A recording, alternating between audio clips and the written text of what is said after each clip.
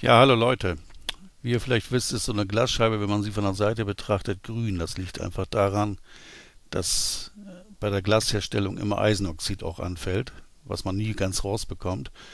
Und wenn ich jetzt von hier aus reinschaue, dann schaue ich durch einen Meter, dann ist das, äh, fällt das eben auf, dieses Eisenoxid. Schaue ich von hier aus rein, schaue ich nur durch 8 mm, fällt es mir gar nicht mehr auf. Ne? Und diesen Effekt wollte ich einfach mal mit den Glasplatten darstellen und das gleich, das Ganze dann eben auch mit einem Zellfracture verbinden. Ne? Und das Ganze sieht dann eben so aus. Ja, der Ball fliegt also gegen die Scheibe, verursacht ein paar Risse, beim weiteren Fall noch ein paar mehr Risse eben, fällt dann auf den Cube und zerspringt und wenn die großen Teile zu Boden fallen, sollen die nochmal in kleinere Teile zerspringen. So wie man hier sieht, immer wenn das, wenn die Kante des Glases zur Kamera zeigt, ist sie richtig grün und wenn sie weggeneigt wird, wird sie immer weißer.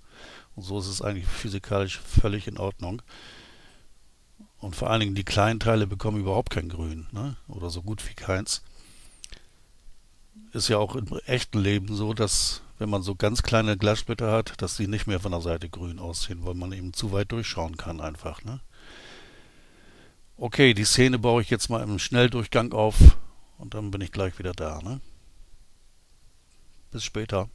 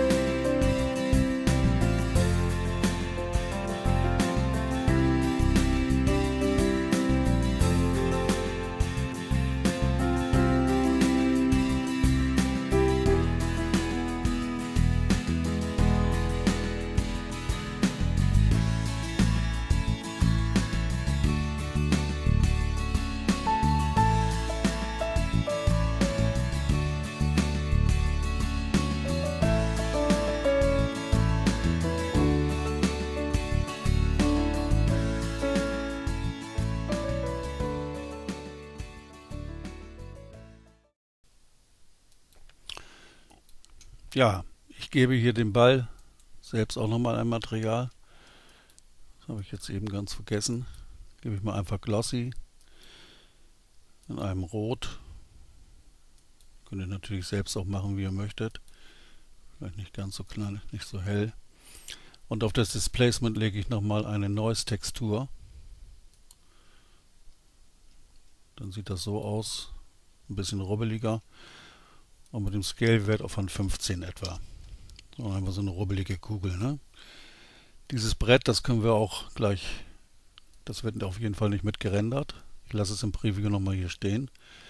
So, und dann geben wir der Scheibe mal ein Material. Use Notes. Gebe ich mal erstmal Glas. Voller Weißwert. Und wie man hier sieht, ich habe hier mal einfach mal mutwillig hier unter Light Path ähm, Direct Light eingestellt. Das heißt, es ist ja praktisch wie im Blender intern, dass kaum Bounces verwendet werden, wie man sieht. Ne? Für Diffus gar keine, für Glossy nur ein, oder für Transmission nur zwei. Und dadurch sieht das hier sehr, sehr schmuddelig alles aus. Ne? Und die Kante vom Glas ist wieder schwarz, weil sich da die ganzen Reflexionen drin sammeln auf so einer schmalen Kante eines Objektes.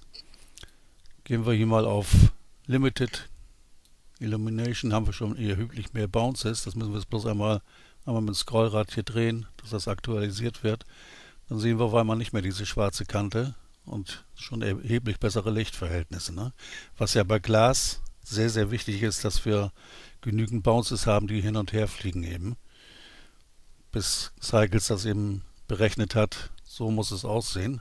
Wenn wir nicht genügend Bounces haben, dann kriegen wir immer so ein schmuddeliges Bild eigentlich.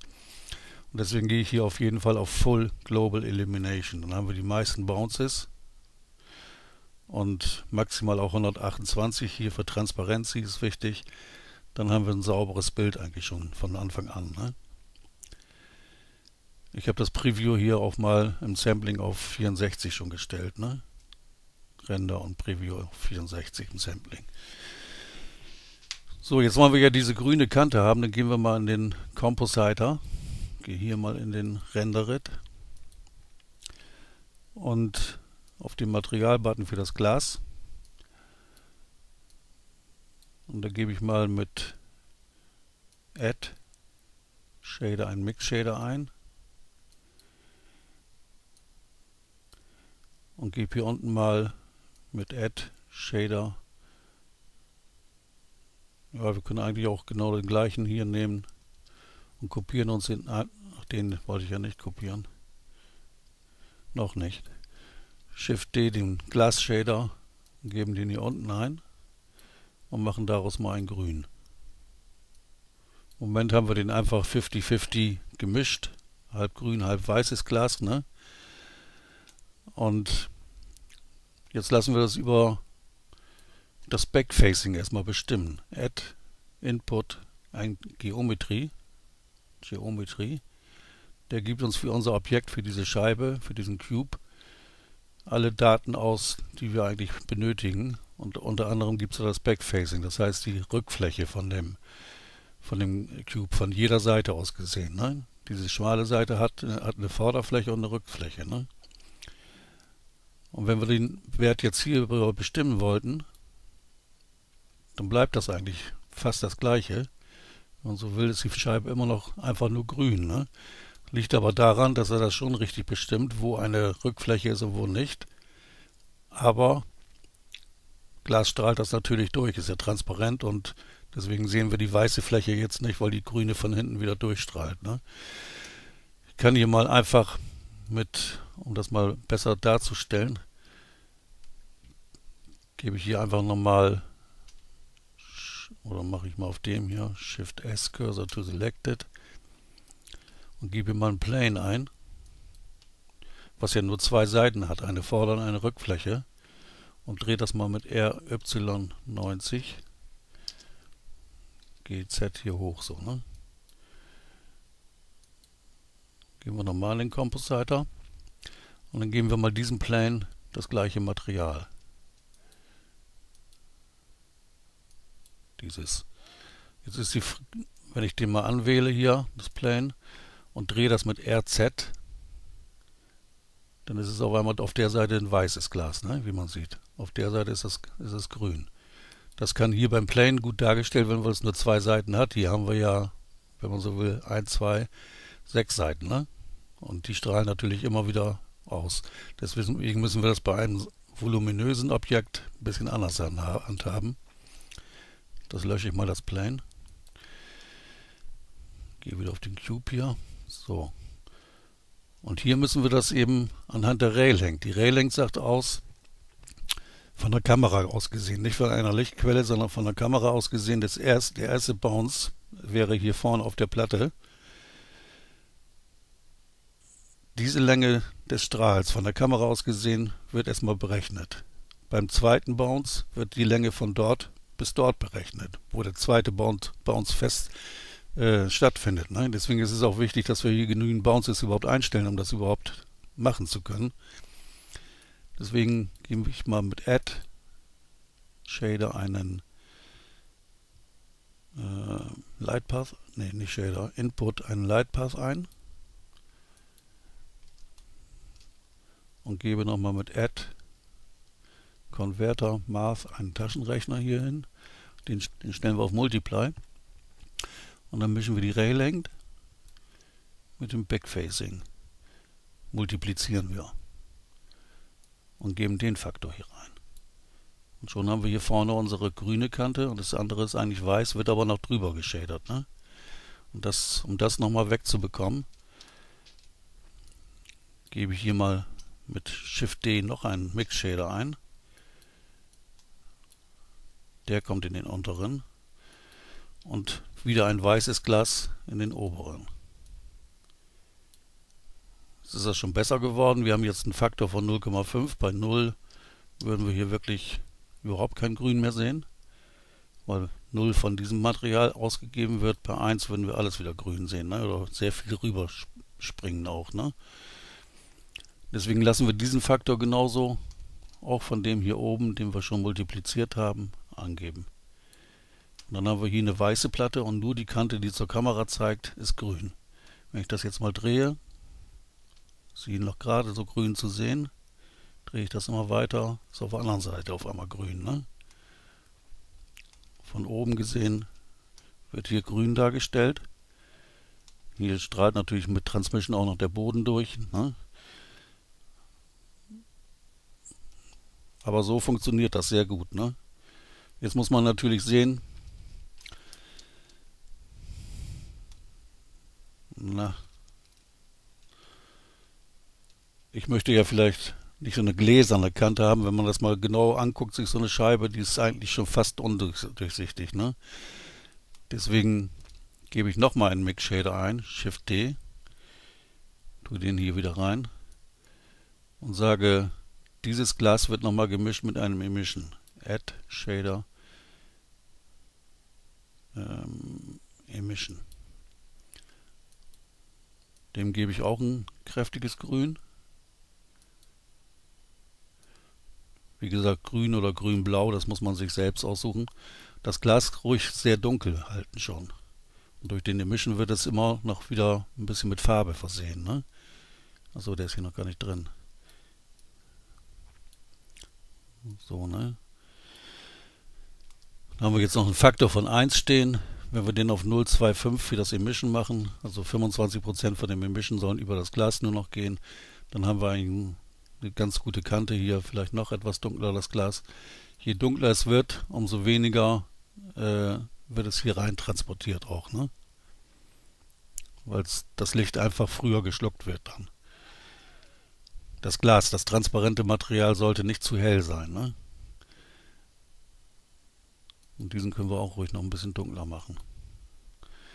Nachher im Video, wenn die sich drehen, die zerbrochenen Teile vor allen Dingen, ist das sowieso erheblich besser. So, und das ist eigentlich das jetzt erstmal. Und wie wir hier auf 0 sehen, ich mache mal hier den, ich habe da noch einen Keyframe drauf gesetzt, das steht jetzt ein bisschen sehr komisch. I, Lockroad. Wird hier immer noch grün rüber geschadert, über den Boden zum Beispiel und so weiter auch. Ne? Das habe ich einfach unterbunden, indem ich hier nochmal Glasplatte einen Mix Shader hintergehangen habe.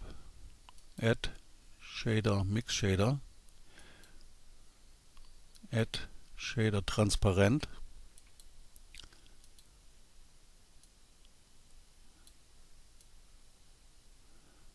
So.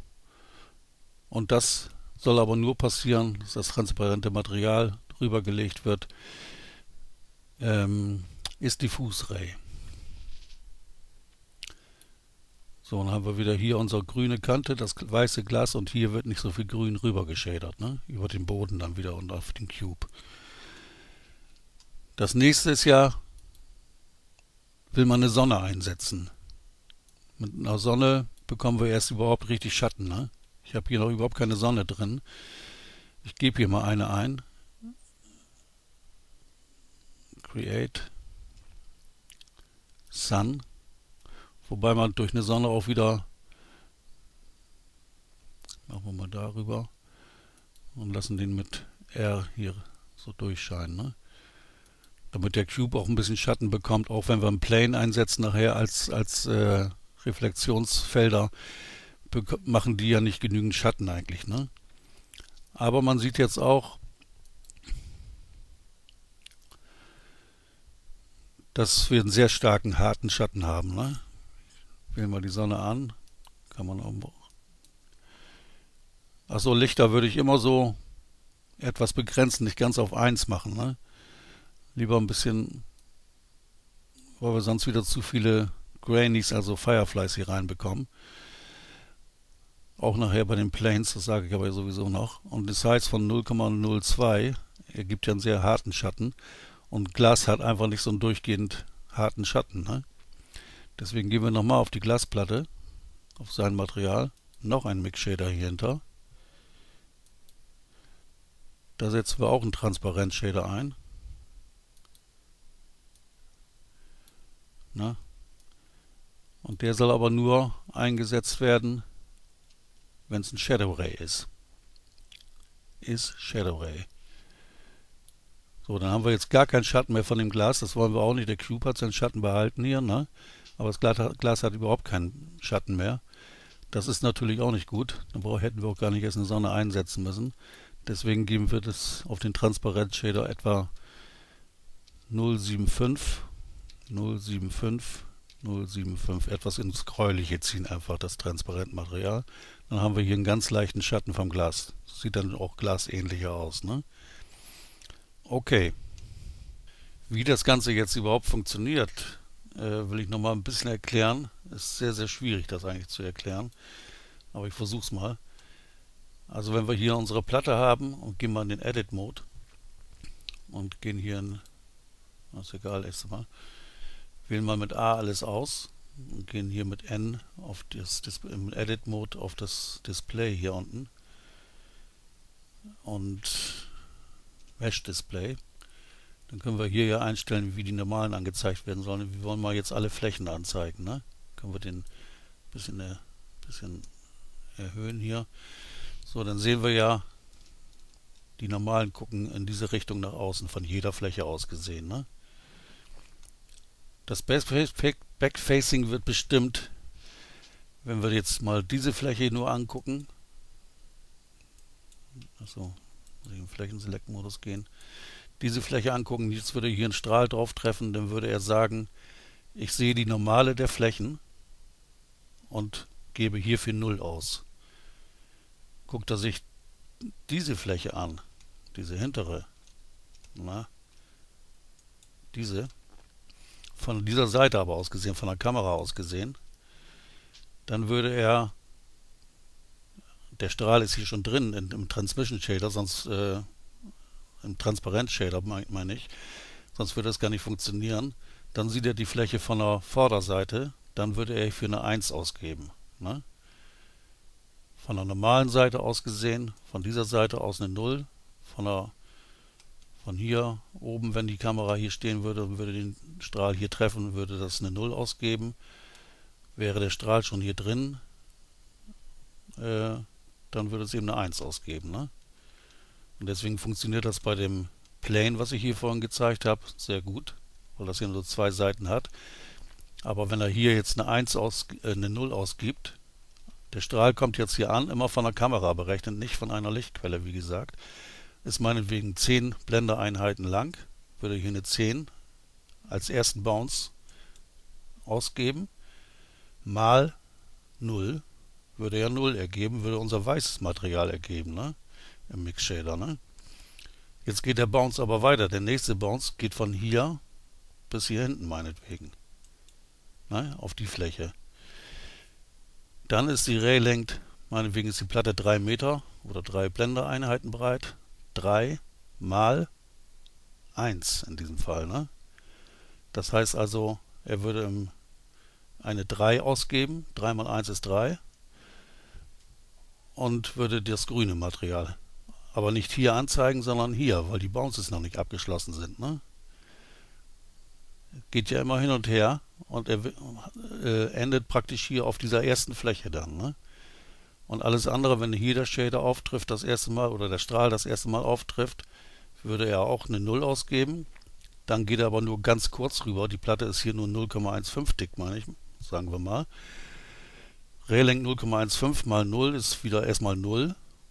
Sowieso weißes Material an der Oberfläche. shadet nach hinten, kriegt eine 1, ist auch nur 0,15 dann, ne? Und das gibt ganz wenig Grün dann eben nur, ne? Über diese gesamte Fläche weg, wenn man so will, ne? So funktioniert das im Grunde genommen. Ist ein bisschen schwierig zu verstehen, gebe ich zu, aber es funktioniert ja, wie man sieht. Okay. Dann machen wir mal, gehen wir mal auf 1 zurück im Numpad. Front Auto. Ich mache mal das hier zu. Das heißt, nee, ich mache es nicht zu. N. Für diese Scheibe wählen wir uns mal hier im Objektmodus einen Grease Pencil aus, gehen auf Object und auf View. So, jetzt mache ich mal zu und dann gehe ich mit Steuerung und 3 auf die Ansicht von links. Und alle anderen Objekte blende ich mal aus mit Shift und H, dass wir nur noch die Platte sehen. Und dann machen wir mit gehaltener D-Taste hier mal einen Punkt hin. Hier wird der Ball das ungefähr das erste Mal auftreffen. Das muss auch nicht ganz genau stimmen. So eine leicht nach oben neigende Linie und eine nach unten. Und hier machen wir ein paar mehr hin. Wo der Ball tatsächlich auftrifft, soll es ein paar mehr Cracks geben. Und einen Punkt hier unten nur hin. Dann behält er hier eine ganze Fläche. Ne? Sollte er normalerweise. Gehen wir mal auf Tools. Ähm, Cell Fracture. Grease Pencil einstellen, damit er sich danach auch richtet. Nur 10 Teile. Und auf der X-Reihe, wir wollen nach hinten die nicht mehr aufteilen, da sollen keine Schnitte entstehen. Machen wir auf X eine 0 und die anderen beiden auf 1, Y und Z auf 1. Eine kleine Rekursion von nur 15% etwa, 015. Und er soll die kleinen Teile nochmal zertrümmern oder nochmal weiter rekursieren. Das sind eben diese, wo wir so viele Punkte gemacht haben. Ne? Und Material natürlich 0. Das ist ja dieses Glasmaterial, was wir eingestellt haben. Und hier können wir ruhig ein Split Edge machen von 0,001 ist ganz gut. Also das, das haben, hat jedes Teil einen Abstand von 0,001 Blendereinheiten. Ne? Und dann auf OK. Das geht sehr schnell. Gehen wir mal auf Ebene 2. Hat er hier ganz gut gemacht, hat er die ersten Risse bekommen eigentlich. Ne? Um das jetzt wieder zu vereinigen, müssen wir erstmal 1 mit Shift gehalten und rechter Maustaste auswählen, dass es aktiv wird. Und dann Steuerung J, alle wieder vereinen und mit M wieder zurück auf Ebene 1 schieben. Ebene 1. So, wir müssen jetzt ja sehen, dass wir den Drehpunkt, den habe ich bei einer anderen Platte auch noch nicht verändert, glaube ich. Äh, doch, habe ich gemacht, glaube ich, ne? Ja. Ähm, der ist jetzt hier bei der letzten Platte geblieben, der Origin-Punkt. Gehen wir mal in Edit-Mode für die Platte. Hier auf Punkt Select und wählen nur diese beiden unteren vorderen Punkte aus. Und mit Shift S bringen wir den Cursor genau in der Mitte zwischen die beiden Cursor. Cursor to Selected. Ist er jetzt genau in der Mitte. Dann in den Objektmodus zurück und Set Origin to 3D Cursor. Dann hat er hier den Drehpunkt und kann mit R dann eben so gehen. Ne? So, das nenne ich auch gleich mal Risse. Dann gehen wir wieder auf Scheibe zurück. Wieder Steuerung 3. Die hat ja noch den Kriegspencil drauf. Der ist ja noch aktiv. Machen wir einfach nochmal ein paar Punkte dazu. Mit D, meinetwegen hier und hier und da. Und da und da. Und in der Mitte vielleicht noch ein. Dann gehen wir wieder auf Kriegspencil.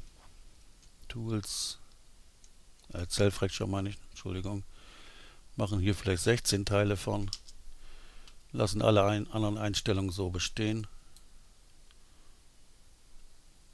So, dann hat er schon ein paar mehr Risse bekommen. Ne?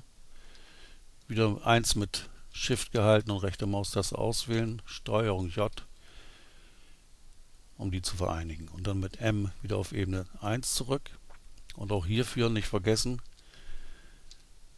den Origin-Punkt nach unten setzen, in den Edit-Mode gehen, den Punkt und den Punkt anwählen, Shift S, Cursor to Selected, Objektmodus zurück mit der Tab-Taste, Set Origin to 3D Cursor. So, jetzt haben alle drei Platten diesen Wert. Ne? So, dann richten wir mal die ersten Rigid Bodies ein. Das heißt, erstmal mit Alt und H wieder alles andere sichtbar machen. So, dann fange ich mal mit dem Ball hier am besten an. Auf Physics. Vorher nochmal speichern, File Save. Ein Act Active daraus machen. Daraus machen wir eine Sphäre, dann rollt der besser. Als wenn er so einfach wegtrumpft eine volle Friction, damit ihr auf diesem Brett ein bisschen Reibung bekommt und ins Rollen noch kommt und nicht einfach so runterrutscht. Und Bounciness auch auf volle Bounciness. So, den haben wir. Das Brett hier, wo er drauf liegt, machen wir ein Add Passive draus. Ähm, da setzen wir nur die Sensitivity auf 0. Bounciness auch auf 0. Soll ja nicht hier noch hüpfen oder so, ne? Den Cube, diesen Sockel, add, nein, nicht add active, add passive. Da machen wir nur eine Bounciness von 0,5 etwa und einen Sicherheitsabstand von 0,01. Und das Plane hier unten noch, ein Add Passive, da wieder eine volle Bounciness und auch einen Sicherheitsabstand von 0,01. So, und dann nehmen wir uns mal die Scheibe vor. Achso, die andere Scheibe nenne ich mal Risse 2.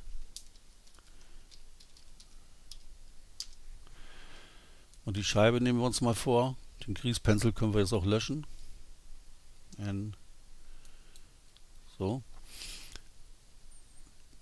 Da geben wir auch ein Adactive für die Scheibe und setzen hier auch einen kleinen Collision Margin rein von 0,01 auch. Ne? Das ist auch so ein Sicherheitsabstand. Wenn der Ball hier gegenfliegt, werden, werden die schon etwas früher ähm, in Mitleidenschaft gezogen.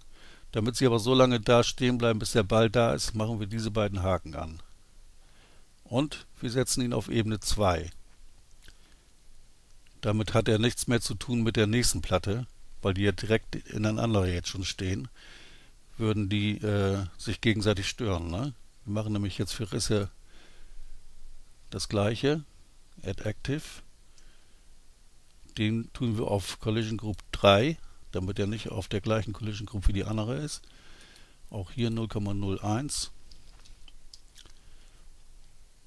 Und er soll auch warten, bis der Ball da ist. Und dann Risse 2 nochmal, Add Active 0,01 Collision Group 4 und auf Warten. Achso, damit der Ball auch hier von diesen Platten ein bisschen abtrumpfen kann, wenn die schon schräg stehen, fällt er dann dadurch eben ein zweites Mal drauf, geben wir den allen dreien auch eine kleine Bounciness von 0,35 etwa. Das hatte ich eben vergessen bei der Scheibe genauso. 0,35. Bei Risse auch 0,35. So wichtig ist jetzt, dass Risse, Risse 2 und Scheibe auf verschiedenen Collision Groups steht. Ne? Das heißt aber ja auch, der Ball hat ja Collision Group 1 standardmäßig nur. Er würde auch mit diesen nichts zu tun haben, er würde da einfach durchfliegen. Ne? Hat ja nichts mit denen zu tun. Er ist mit dem hier wieder, weil der auch Collision Group 1 hat. Ne? Deswegen müssen wir dem Ball alle Collision Groups geben, die er beeinflussen soll. Eben diese drei Scheiben. Und diesem Plane hier unten genau das gleiche, ne? damit sie auch hier drauf stehen bleiben und nicht hier durchfallen. Genau das gleiche, ne? Vier Stück. Diesen brauchen wir das nicht geben, weil hier sowieso, wenn die Platte hier ist, brechen wir das sowieso ab und machen dann ja die richtigen Brüche eigentlich. So, wie man sieht, der Ball fällt sehr langsam runter. Wer ist schon bei 60 oder 65 sogar, bis er überhaupt nicht mal die Platte berührt. So viel Zeit haben wir einfach nicht für das Video, das würde ja langweilig sein. Deswegen gebe ich mal auf den, gehe ich mal auf den Szene-Button und wir stellen die, achso, erstmal hier, ganz wichtig, das Video geht bis 300. Sonst sind die Stücken, die hier nachher durch die Gegend fliegen, beruhigen sich einfach nicht mehr. Und hier natürlich auch bis 300. Ne?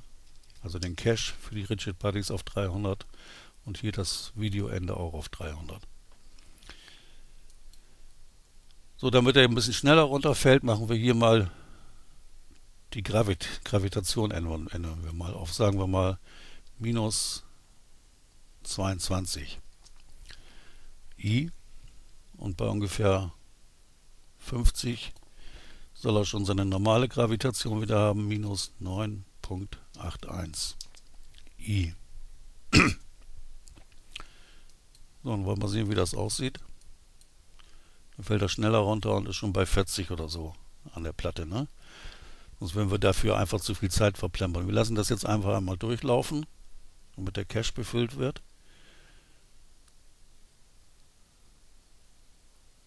Ja, springt eigentlich noch ein bisschen stark ab. Ne? Das müssen wir noch ein bisschen verändern hier, diese beiden. Ich glaube ein bisschen weiter zurück. G. So, dann. Hieran seht ihr immer, ob der Cache wieder neu befüllt wird. Wird er jetzt, ne? Ja, da springt er schon drüber, ne? Warum ist die eine Platte jetzt nicht mitgegangen? Weil er einfach zu hoch anspringt. Die beiden nochmal mit G etwas tiefer. Das muss man eben ausprobieren. Ja, so sieht das ganz gut aus. Er titscht auf jeden Fall ein zweites Mal auf die Platte, damit wir für die zweiten Risse dann auch so ein Alibi haben. Ne? Sonst würden die Risse ja so von selbst entstehen. So, dann gucken wir mal. Er hat jetzt diesen Gelb gemacht. Jetzt können wir das auch mal ungefähr bis zur Platte, bis zum Cube, wenn die Platten auf den Cube stoßen. Das ist schon zu weit, ne? Lieber ein weniger, wo es Risse 2 dann. Auch ungefähr gleich, wo Scheibe ist, ne? Ganz genau wird man das nicht aufeinander kriegen, das ist einfach so, dass äh, allerdings kann man das nochmal versuchen. Wir müssen auch gucken hier, wo unser Plane hier unten ist. Das ist hier durchgerutscht, ne? Das ist schon mal nicht gut, obwohl ich so einen kleinen Sicherheitsabstand gemacht habe. Jetzt müssen wir mal eben gucken, auf Frame 1 zurück, ob das Plane auch vielleicht zu tief, zu weit schon in dem Dings drin steckt. Das sieht mir fast so aus, ne? Also ich mache das Plane mal, wähle ich mal an und mit GZ so einen kleinen, ganz kleinen Luftraum lassen. Müssen wir aber auch gleich mal gucken, wie der Cube dazu aussieht.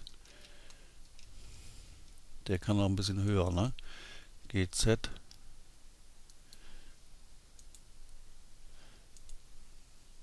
GZ. Manchmal auch mit Shift gehalten das machen.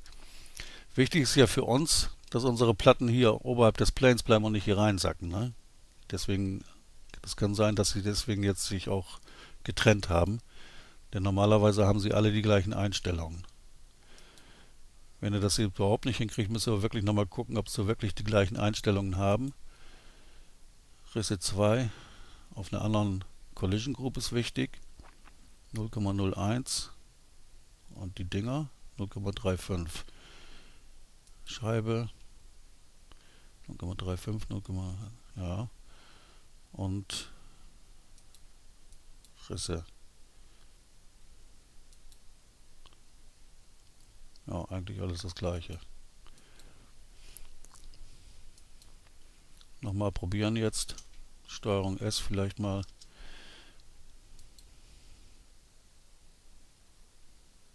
Ja, jetzt bleiben sie besser oberhalb des, des Planes, ne? Hat man ganz deutlich gesehen.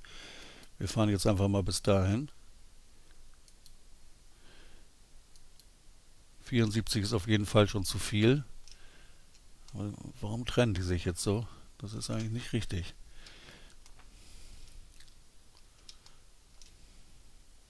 Aber sie bleiben oberhalb des Planes liegen, das ist für mich am wichtigsten. Ne? Ob sie sich da so ein bisschen trennen, das ist eigentlich im Video nicht zu sehen. Ne? Also wir gehen auf 73 und wählen die Scheibe an. Gehen auf Taste 7 mit Z in den Wireframe-Modus und diese anderen Risse und Risse 2 blende ich mal aus. Und hier ist ja unser Cube hier unter unser Sockel. Machen wir hier jetzt unseren äh, Grease Pencil rauf. Wieder Objekt, New. Und dann mache ich mal, gehe ich mal hier auf Pencil, gehe ich mal auf Poly, mache hier einen Punkt und da einen Punkt. Und etwas entfernt halten und mit rechter Maustaste abbrechen Und jetzt mit gehaltener D-Taste, wir können aber auch hier auf Continuous Draw stellen. Und dann brauchen wir nur ein einziges Mal die D-Taste halten, dann können wir sie loslassen und immer weiter malen. Linker Maustaste. Hier müssen jetzt ganz, ganz viele hin. Das bereite ich mal jetzt vor und komme dann gleich wieder. Ne? So, ich habe jetzt hier schon mal neben dem Strich so eine Reihe gemacht oder zwei Reihen auf jeder Seite, ganz eng beieinander liegend und dann eben nochmal etwas entfernt schon mal, aber auch noch viele, viele Punkte. Ich würde hier auch nicht zu sehr mit Strichen arbeiten. Diese vielleicht ein bisschen versetzt zueinander, ne?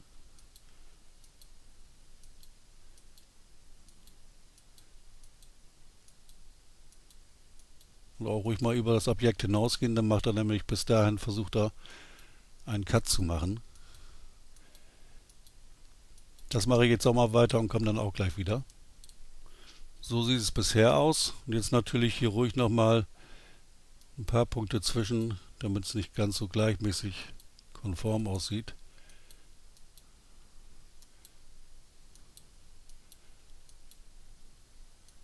Nochmal genau auf die Kante hier.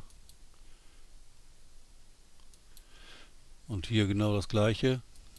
Ein paar Punkte, um die, Ungleich, um die Ungleichmäßigkeit herzustellen praktisch. Und jetzt ist es wichtig, dass wir die letzte Reihe hier ziemlich plan runter machen. Dass er nur bis dahin, also fluchtrecht runter machen, will ich damit sagen.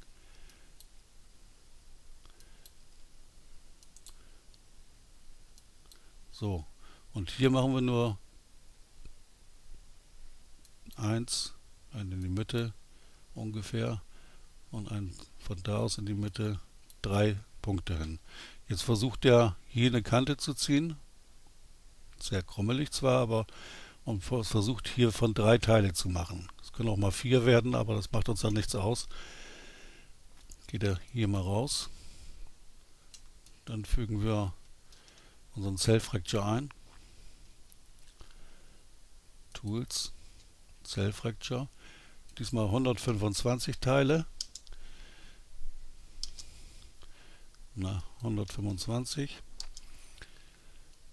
Auch eine Noise von 0. Diesmal müssen wir auf X wieder 1 einsetzen und auf Z dafür 0, damit er nicht dünne Scheiben daraus macht. Und die Rekursion machen wir auf 055.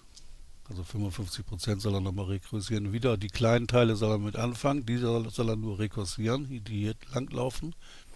Material 0 und den setze ich mal auf 0 damit wir zuerst die Schnitte gar nicht sehen können. Beim Glas wird man sie natürlich immer ein bisschen sehen. So, und dann... Okay.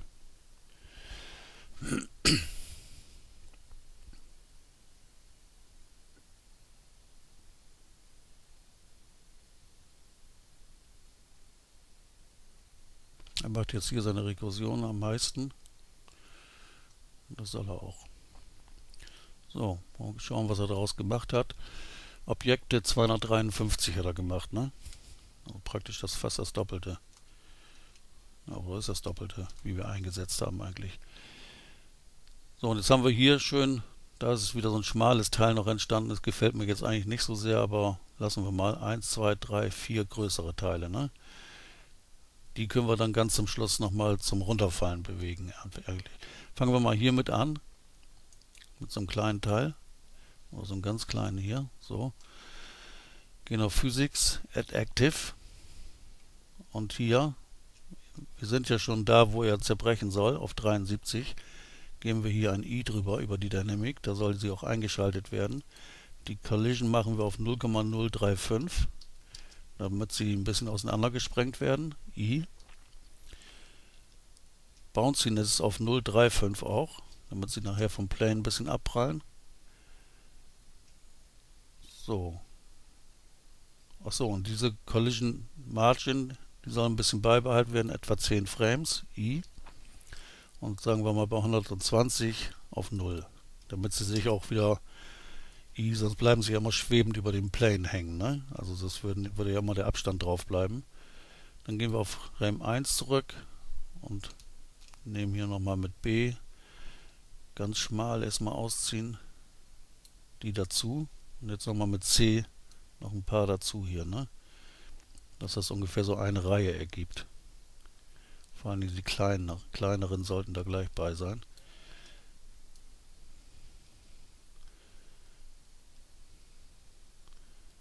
Ja, so sieht das, glaube ich, ganz gut aus. Mit rechter Maustaste abbrechen und dann Copy from Active. Jetzt haben, haben alle die gleiche Physik, aber diese Animationen hier, die beiden sind hier noch nicht drauf. Deswegen mit Steuerung und L auch die auf die anderen bringen. Animation Data. Make Links to Animation Data.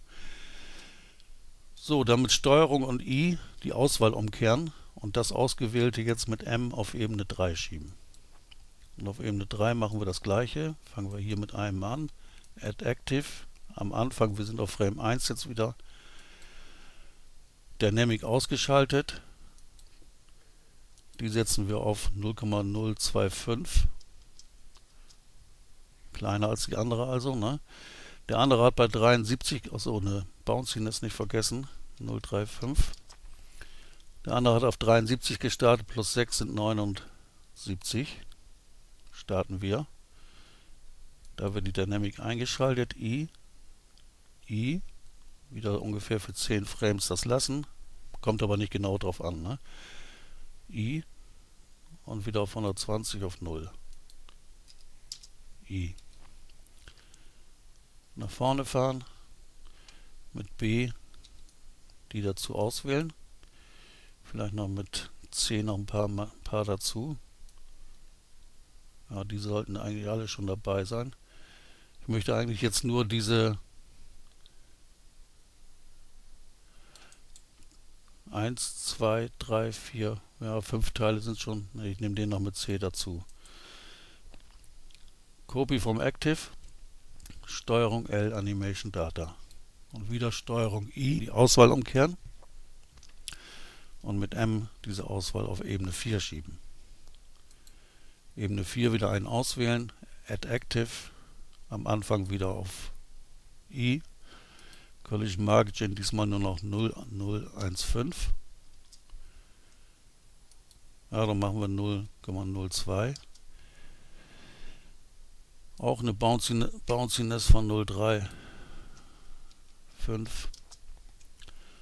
Und der andere ist bei 79 plus 6 sind 5, äh, ja, 85 startet der erst. I. I. Wieder für ein paar Frames dieses, diesen Abstand lassen. I. Und ein bisschen später vielleicht auf 0. I. Wieder nach vorne fahren, die anderen dazu auswählen. B. Hat da ist noch ein kleiner geblieben, ne? Copy vom Active, Steuerung L, Animation Data.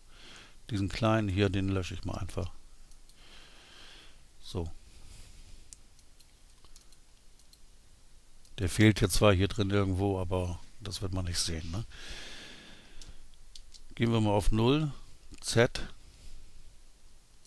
Frame 1 zurück, File Save.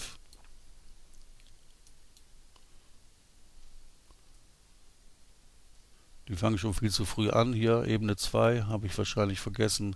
Ja, am Anfang den Haken rauszunehmen. I mit Z in den Wireframe-Modus, B Steuerung L Animation Data.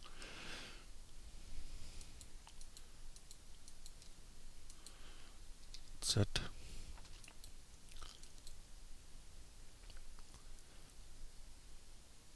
So, das fällt jetzt alles so ziemlich schnell runter. Deswegen machen wir, wir haben, sind ja noch auf dieser Gravitation. Äh, bei 50 hatten wir sie, glaube ich, auf 0,981 zurückgesetzt. Oder 49. Die halten wir auch bei bis 73, bis dieser Crash stattfindet. I. Und bis das erste startet, das ist ja bei 73, also das nächste bei 79. Da setzen wir sie erst auf 0. I. Das behalten wir auch bei, weil die letzten starten bei 85 plus ungefähr 30, die sollen ja nochmal hochgewirbelt werden. Ne? Ja, ich sag mal so 130. Ja, 130 können wir ruhig machen. Bis dahin soll es auf 0 bleiben und dann auf 230 etwa, na 230, wieder auf die normale irdische Gravitation minus 9.81. Und I nicht vergessen. Dann sieht das gleich ganz anders aus.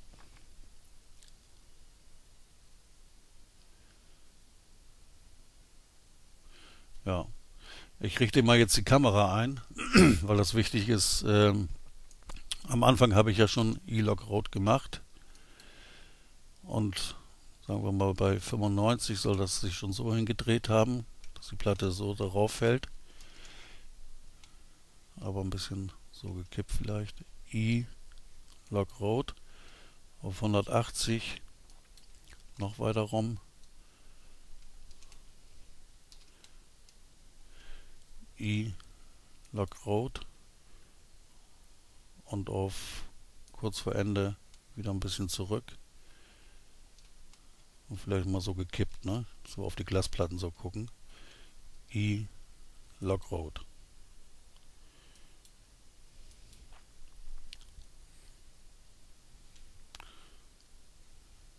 Jetzt müssen wir bloß noch den Fokus ein bisschen einstellen. Am Anfang 35i. Hier könnte er schon auf 32 zurückgegangen sein. I.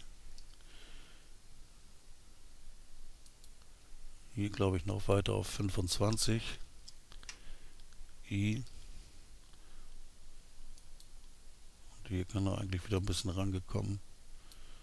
Sagen wir mal so 27. I. Müsst ihr dann genauer einstellen, ne? So, und jetzt müssen wir eben warten, bis die großen Platten, ob die überhaupt noch hoch genug fliegen. Achso, uns stören natürlich noch die diese heilen Platten hier, Scheibe, Risse und so weiter. Die können wir ganz einfach dazu bringen, dass sie überhaupt erstmal durch das Plane einfach durch, weil im Moment haben sie ja gar nichts damit zu tun, weil sie auf einer anderen Collision Group liegen, als die anderen Teile alle. Aber damit sie hier einfach nicht so stören, am Anfang ein I und bei 73, wo der Crash beginnt, gar keine Collision Group mehr. Mit Shift gehalten diese letzte wegnehmen, I. Das gleiche für Risse, bei 73, Shift gehalten die letzte wegnehmen, I. Der Risse 2 war das, Risse, mit Shift gehalten wegnehmen, I. Und auf 1 nochmal zurück für Risse, der hatte die Collision Group 3 I und Risse 2 äh, 4 I. So. Dann würden die jetzt durch den Boden fallen, ne? Weil auch das untere Plane sie nicht mehr auffällt. Aber sie kommen nochmal hoch, ne? Das würde man im, beim Rendern natürlich sehen. Deswegen blenden wir sie auch aus. Ähm, Scheibe zuerst mal. Blenden die mal alle wieder ein. I, I. Am Anfang soll sie natürlich sichtbar sein. Jetzt müssen wir sehen, wenn der Ball das erste Mal an sie rantitscht. Würde ich mal sagen, so 42 wird sie ausgeblendet. I, I. Dafür wird Risse eingeblendet. I, I. Und Risse bleibt bis zum zweiten Bounce. Das ist hier. Das Risse weg. I, I. Risse 2 wird eingeblendet. I, I und Risse 2 bleibt bis 73. Wird dann auch ausgeblendet. I, I. Jetzt müssen wir nur noch mal ganz an Anfang zurückfahren. Risse und Risse 2 sind am Anfang hier gar nicht sichtbar. I, I, I, I. Okay. Und jetzt sehen wir auch nichts mehr davon. Ne? Wenn sie jetzt bei 73 sind, sind sie wirklich alle weg.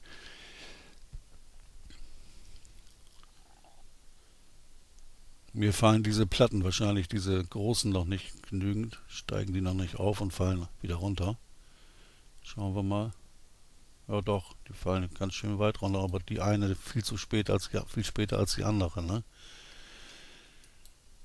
Deswegen, es scheint also so zu sein, dass der Ball eine zu hohe Bounciness noch hat. Wenn er hier zweimal auf die Platte fällt, fällt er auch auf diese schon rauf und drückt diese beiden runter und die nicht, ne? Um das zu vermeiden, kann man entweder jetzt dem Ball eine, mittendrin eine andere Bounciness geben, aber das bringt nicht viel. Ne? Also was mir besser gefällt, ist, wenn wir auf Ebene 4 gehen und hier mit Create einen Zylinder reingeben, den wir auch gar nicht mit rendern. Den äh, drehe ich mal mit RX90. Dann schieben wir ihn hier unter. Gehen wir auf 1. Das war der Cursor gerade da. Mit SY etwas länger als diese Platten sind, zusammen sind. Und mit S Shift Y ein bisschen dünner machen. Ne? So, und den legen wir mal hier einfach, muss ja natürlich noch oberhalb des Planes liegen, sonst fällt er selbst mit rein. Da würden die ja drauf bouncen, deswegen geben wir dem auch ein, ein Add Passive erstmal. Ich versuche es mal mit hoher Bounciness und wenig Abstand eigentlich, das ist schon zu viel, 0,04. Der liegt jetzt nur auf Ebene 4 und äh, beeinträchtigt natürlich auch irgendwann die anderen, ist klar. Aber die sind ja nicht in seinem Bereich jetzt am Anfang jedenfalls nicht. Ne? Irgendwann schalten wir den einfach ab. Müssen wir mal sehen, wie das jetzt aussieht. Bleiben die mehr auf einer Höhe, ne? Von null mal geguckt. Wie gesagt, den rendern wir einfach nicht mit.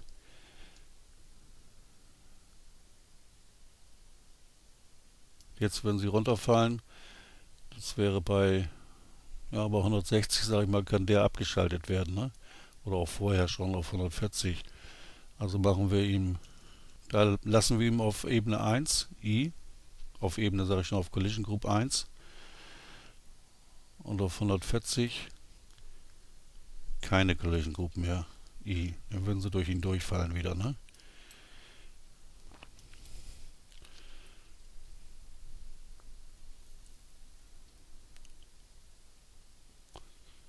jetzt fallen sie eigentlich ziemlich gleichmäßig runter, ne? Weil der andere gar nicht so weit wegfliegt mehr, weil er hier schon drauf gefallen ist und gehalten wird erstmal und dann runterfällt erst. So, das ist ganz gut eigentlich. Jetzt gucken wir mal, lassen wir einmal durchlaufen.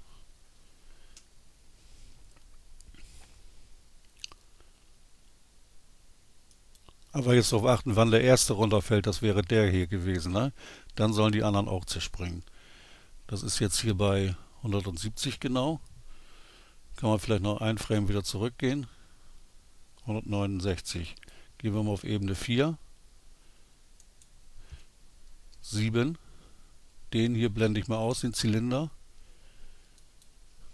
Damit der das nicht mitbekommt, was wir jetzt machen. Mit B alle auswählen dazu. Und mit N wieder ein... Achso, nee, was ich noch vergessen habe. Wir können diese jetzt nicht einfach mit einem Cell Fracture bearbeiten. Das liegt daran, dass sie überschüssige Vertices haben wieder. Das liegt an dem, das ist praktisch wie so ein Edge Split, dieser Add Modifier Edge Split, der wird beim Cell Fracture draufgepackt, damit die Kanten schön gerade werden. Ne? Den müssen wir jetzt hier wieder runterholen. Müssen wir jedes Objekt einmal anwählen, mit Doppel A auswählen und dann hier auf Tools, hier unten Remove Doubles sieht man, er hat 20 überschüssige Vertices von dem Teil alleine entfernt. Ne? Das müssen wir eben für alle machen. Mit A, Doppel A mal alles auswählen, damit auch alles ausgewählt ist. Remove Doubles. Hier genauso. Mit Doppel A, Remove Doubles. Und den noch AA, Remove Doubles. Waren die einzigen vier, ne? Ja.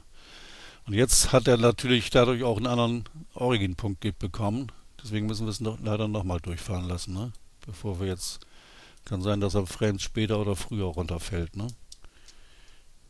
Schauen wir nochmal. Er befüllt den Cache nochmal neu.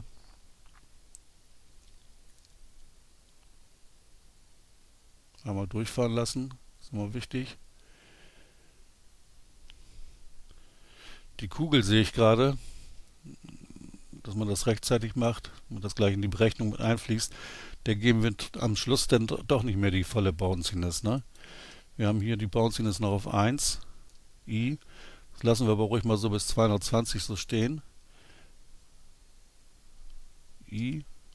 Und schalten sie dann runter auf, ich weiß nicht, 025 oder so, dass sie nur noch wegrollt praktisch, ne? I. Jetzt nochmal gucken.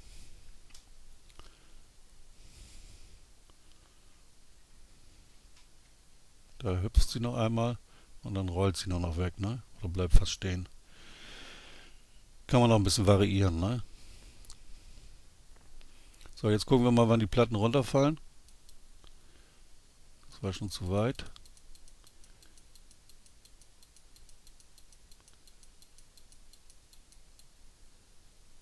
Ja, schon ein bisschen mehr geworden, ne? Also ich würde sagen 171, ne? Gehen wir auf Ebene 4, wählen einen aus, B, N, auf das Objekt ein Grease Pencil, die kriegt zwar nur das aktive Objekt jetzt, aber wir können den trotzdem, können den trotzdem alle zusammen self-fracturen. Mit D jetzt die größten Objekte sollten auch die meisten Punkte bekommen einfach. Ganz einfaches Prinzip damit wir nicht zu große Teile behalten. Ne?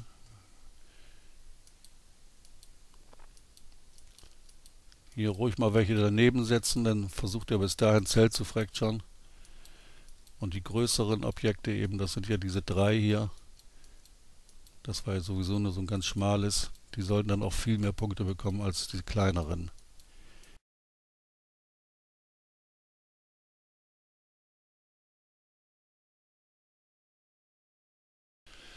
So, sagen wir mal so.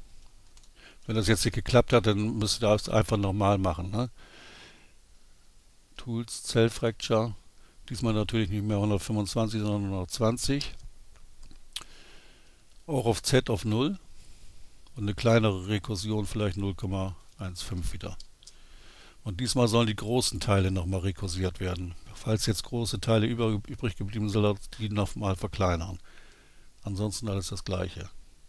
Achso, hier können wir noch ein 0,003 eingeben ruhig, dass sie schon ein bisschen weit auseinander stehen dann.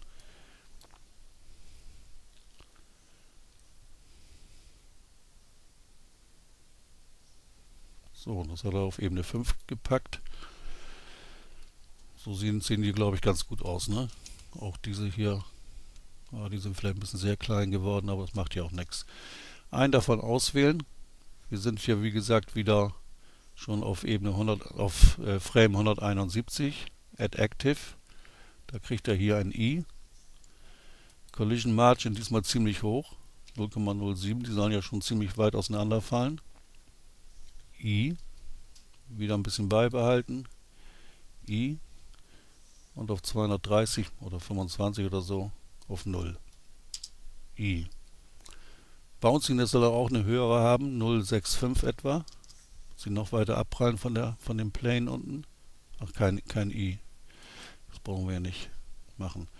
Und er soll auch erst hier bei 171 seine Collision Group überhaupt kriegen, die 1, die die anderen alle haben. Ne? Und vorne wird das natürlich ausgeschaltet, I und auch keine Collision Group am Anfang I. Sonst würde er die anderen Teile alle stören. Der liegt ja schon mitten im Weg von denen. Ne?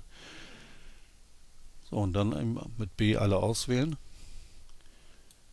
Copy from Active, Steuerung L, Animation Data. Und jetzt wollen wir mal sehen, wie das aussieht. Z 0, Frame 1 zurück. Gehen wir hier mit G und rechte Maustaste abbrechen, befüllt man auf jeden Fall den Cache neu. Sie fallen, sie fallen, sie fallen. Und sie bleiben da liegen, ne? Und das ist natürlich auch verkehrt. Wir müssen natürlich auch nochmal auf Ebene 4 zurück. Einen hiervon auswählen. Und ihm am Anfang die Collision Group 1 geben, I, auf 171 keine Collision Group mehr. I, dann fallen die durchs Plane durch. und haben auf jeden Fall nichts mehr mit den anderen zu tun, ne? I. Und wir wollen auch die, also besser ist es, wenn man die Dynamik an dem Punkt auch nochmal ausschaltet wieder. I. Dann bleiben sie einfach stehen so in der Luft, aber das sehen wir ja nicht mehr im, im Video, weil das bis dahin schon ausgeblendet ist. Collision Group abschalten und bei 171 auch die Dynamik ausschalten. Nochmal zurück auf Frame 1 mit Z im Wireframe-Modus, mit B ruhig nochmal Copy vom Active und Steuerung L Animation Data.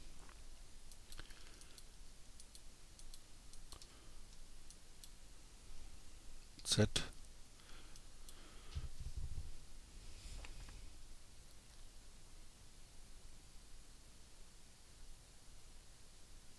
Ja, der eine fällt noch zu früh runter, ne? Gut, das müsst ihr natürlich jetzt hinfummeln. Das geht in diesem Video einfach nicht. Ich bin ja jetzt schon bei 60 Minuten. Knapp. Also die müssen dann natürlich, das kann man mit diesem Zylinder sehr gut variieren eigentlich, wann wir den abschalten und wann nicht. Ne? Dadurch bleiben die alle ziemlich auf einer Höhe. Dieser fällt mir zu früh runter hier ne? und die platzen viel später auf. Ne? Das kann man aber sehr gut variieren damit, mit dem Zylinder zum Beispiel. Ja, so sieht das dann aus.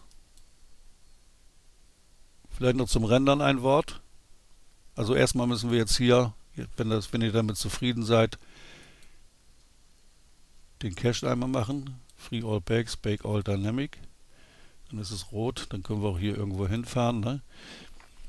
Und wenn wir das jetzt mal rendern, ich habe jetzt hier 64 Render-Samples drin.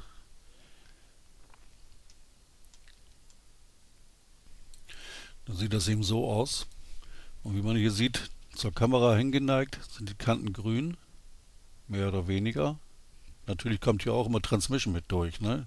Das soll aber ja bei Glas auch so sein. Das sieht im Video ja, gerade so gut aus, bei den bewegten Teilen. Wir haben jetzt hier Frame 149 gerendert. Da sind die noch nicht zerbrochen, ne? Bei 171 Hz. Und die anderen Teile haben überhaupt nicht diese grüne Kante und so ist es genau richtig, weil das ja ein kleineres Objekt ist, äh, kann man eben weiter durchschauen und man das liegt hier einfach an der Rail-Length. Ne? Die Rail-Length ist zu klein, dass überhaupt das Grün durchgestellt wird. Ne? Okay, ähm, was wir noch machen müssen, sind natürlich diese Glitzerpunkte, die kriegen wir nicht einfach nur durch die Sonne jetzt. Ne? Wir müssen also noch Mesh-Lights anlegen, also das heißt Planes. Deswegen gehe ich mal auf Frame 1 zurück und bringe mit Create oder wir können erstmal die Kamera anwählen. Gehen wir auf 7. Da ist unsere Kamera. Shift S, Cursor to Selected, damit der Cursor hier in der Kamera ist und dann mit Create ein Plane. Das vergrößern wir mit S2 auf das Zweifache. Und jetzt müssen wir bloß aufpassen. Das Plane ist auf Ebene 5 gelandet, weil das die letzte aktive Ebene war. Ne? Die Ebene 5 wird aber ja erst ganz spät mitgerendert, erst ab 171. Also darf es da nicht liegen bleiben, sondern muss mit M auf Ebene 1 zurückgebracht werden, ne? weil die von Anfang an gerendert wird. Jetzt das Plane nochmal an der Kamera schon ein bisschen höher schieben mit GZ und zum, zu den Platten hin mit R, ungefähr wie die Kamera steht eigentlich schon. So. Und hier auch mit R, wie die Kamera so steht. Dem geben wir natürlich ein Material. Und zwar Emission. Wo ist Emission? Ah, da. Auch hier, wie gesagt, darauf achten, lasst das ruhig auf 0,8 stehen, alles, statt auf 1 volle Weißkraft zu stellen. Das ergibt sofort mehr ähm, Fireflies, ne? Eher vielleicht nochmal ein bisschen so, wie die Kamera genau ist und eine Stärke von 5 hier nur. Wir wollen nur so ein Licht von Richtung Kamera haben, damit das immer in Richtung Kamera bleibt. Mit G erstmal wieder ein bisschen hinter die Kamera auch. Und dann wählen wir das Plane an, haben wir ja schon, mit rechter Maustaste und Shift gehalten die Kamera dazu und Steuerung P. Object. Das ist jetzt ein Objekt von der Kamera, also ein Child, und läuft jetzt mit unserer animierten Kamera mal mit. Und dadurch haben wir immer ein Licht aus Richtung Kamera auf diese auf dieses ganze Geschehen hier eigentlich, ne? noch ein Plane. Create Plane. Das lassen wir auch in der gleichen Größe wie so Standardgröße eben.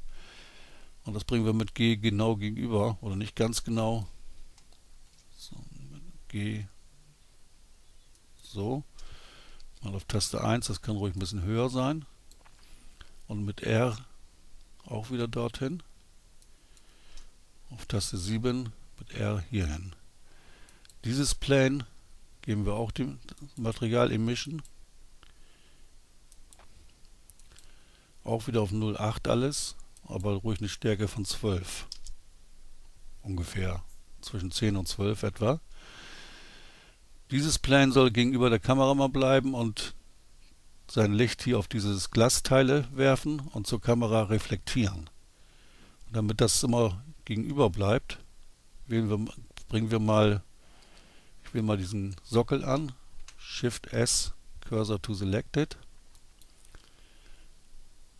Achso, das andere Plane ist wahrscheinlich auch wieder auf Ebene 5 gelandet, muss man darauf achten. Ne? Mit M auf Ebene 1 zurück. Ist ganz wichtig. So, äh, am besten ich mache mal nur Ebene 1 an hier, damit das alles hier auch landet. Der Cursor ist hier am, am Cube. Bringen wir mit Create ein Empty hier rein. Na, wo ist das Empty? Da. Ziehen das mit GZ hier ein bisschen höher, so. So, und jetzt das Empty ist angewählt, dazu die Kamera mit Shift gehalten und Steuerung T. Track to Constraint. So, wenn wir jetzt mal auf 0 gucken, läuft unsere Kamera genauso, wie wir sie animiert haben. Weiter. Aber dieses, Play, äh, dieses Empty dreht sich auch so, wie, sie, wie die Kamera geneigt ist und wie sie fährt und dreht sich immer mit. Ne? Das sieht man, auf, wenn man auf 1 auf Top Out, äh, Frontauto steht, besser. Ne? Es dreht sich immer mit. Wenn die Kamera gleich hochfährt, dreht sich das, kippt sich das auch ein bisschen mit ne? und so weiter. Weil das ist jetzt das Schalt der Kamera praktisch. Ne? So, und dann wählen wir nochmal dieses an und als zweites das Empty und sagen Steuerung P. Machen daraus ein Objekt. Das, das ist jetzt ein Schalt von dem Empty und muss sich natürlich so mitdrehen, wie es von unserer Kamera gedreht wird wieder. Ne? Und dadurch wandern die, wenn man auf 7 hier guckt, sind die immer so gegenüber. Ich würde es auch nicht so ganz gegenüber machen, also ich könnte es ja noch mit G hier weiter hinschieben, dass es hier genau in die Kamera reinstrahlt, das würde ich nicht tun. Ne? Dann kriegen wir zu heftige Reflexe einfach. Aber so ist es ungefähr richtig und auf 1 gesehen kann es vielleicht noch ein bisschen tiefer. Aber eben mit R muss, es, muss, muss man so in die Seite drehen. Sollte es schon R auch wirklich zum Glas hinspiegeln. Ne? So, und was wir jetzt sehen, ist natürlich das Plane im Fenster, ne? dieses hier. Im Rendered würde das ja jetzt so einen hellen Fleck hier geben. Deswegen gehen wir nochmal in den Compositor auf das Material des Planes. Das haben wir hier. Wir sehen das hier immer noch mit Add Shader ein Mix Shader wieder hinzu. Add Shader ein Transparenz Shader. Wir sehen es immer noch. Deswegen geben wir hier mit Add Input ein Light Path wieder hinzu und sagen ihm, wenn die Kamera das Plane sieht, ist Camera Ray, dann soll es in transparent dargestellt werden nur. Und dann ist es hier nicht mehr zu sehen, aber das Licht wird trotzdem ausgestrahlt. Das ist vorher passiert. Ne? Bevor das hier passiert, ist das Licht schon auf den anderen Objekten. Und das ist ja das Gute daran. Hier im Preview kann man es auch sehen. Es ist nicht zu sehen, aber das Licht wird ausgestrahlt. Ne? So, und jetzt wollen wir mal sehen, ob er das jetzt richtig macht. Gerendert habe ich das andere Video mit 128 Samples. Uh, wo sind wir jetzt? Performance habe ich schon auf 16 x 16. Achso, was wir noch haben, wir können ja hier, wenn ihr zu viele Fireflies immer noch habt, könnte man den Clamp hier auf 0,98 stellen. Das empfehle ich aber nicht. Ne? Dann sehen wir überhaupt nichts mehr von unseren.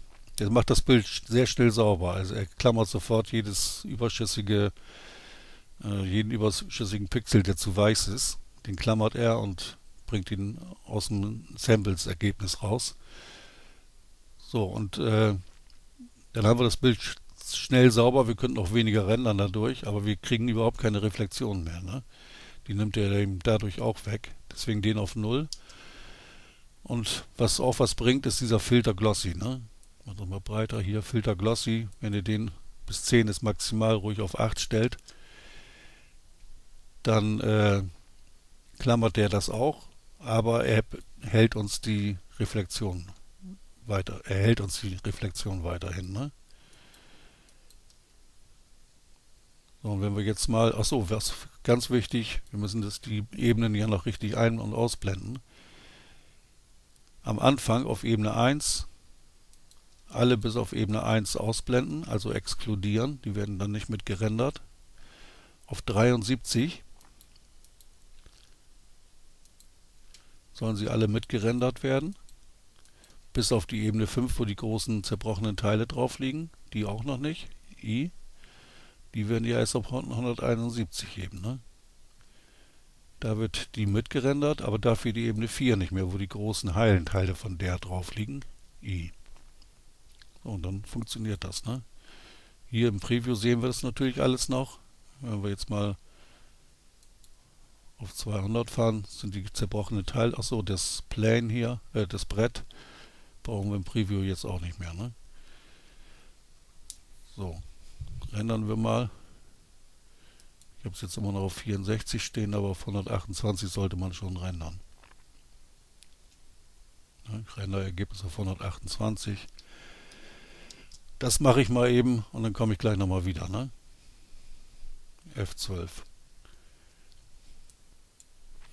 So, wie man hier sieht, man sieht überhaupt keine Punkte, weil, wir die, weil ich die ja auch noch gar nicht eingegeben habe. Ne? Also keine Sterne, sage ich mal, Glitzersterne. Ah, nee. Also in den Compositor, ich habe den noch gar nicht hier eingerichtet, Use Notes, Add, Filter, Glare. Den Strix stellen wir auf High, das gibt eine etwas bessere Qualität. Den Threshold lassen wir auf 1, dass er nicht zu weit wegstrahlt.